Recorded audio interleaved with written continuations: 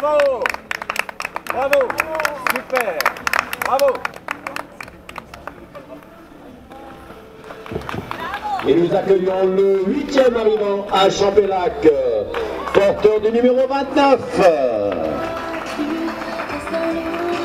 Huitième arrivant, euh, arrivant, Coquet.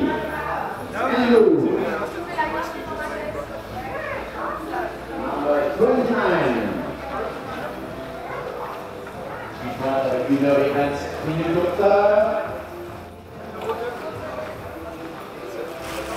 Il va directement au ravitaillement mis en place par l'organisation.